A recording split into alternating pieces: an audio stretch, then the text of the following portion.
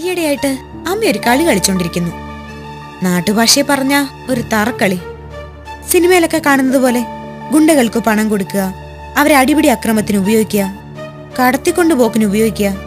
കണ്ടിട്ടില്ലേ?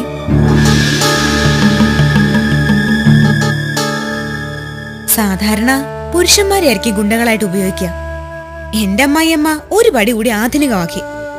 സ്ത്രീകളെയും അത്തരം കാര്യങ്ങൾക്ക് ഉപയോഗിക്കാൻ തുടങ്ങി.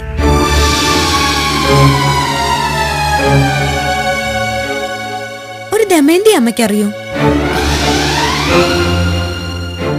അവരെ എനിക്കറിയാം.